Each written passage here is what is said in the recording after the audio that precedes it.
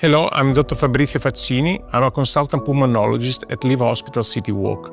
Today we are going to talk about indoor air quality, which is significantly relevant for your health. When I see a patient in my hospital and uh, I look after the possible risk factors, I always recommend to make sure that the AC is regularly cleaned and inspected at least once a year. I also strongly recommend to have air purifiers in your house. This is important for two reasons. First, the quality of the air might reflect the level of pollution that is outdoor. Second, there are indoor sources of pollution. Simple measure like cleaning regularly your AC, uh, making sure the tubes are inspected, using air purifier, have a huge impact on the quality of the air.